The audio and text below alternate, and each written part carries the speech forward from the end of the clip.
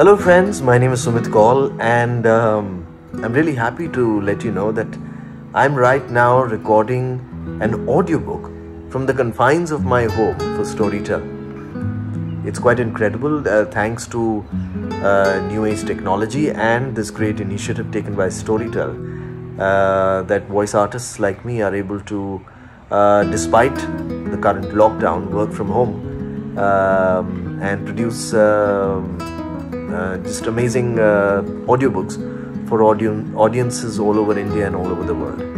Um, I would also um, like to take this opportunity to remind everybody that it's important that we all stay home, we stay safe, and we keep listening to stories. The joy of bringing stories from my home to yours, only on Storytel.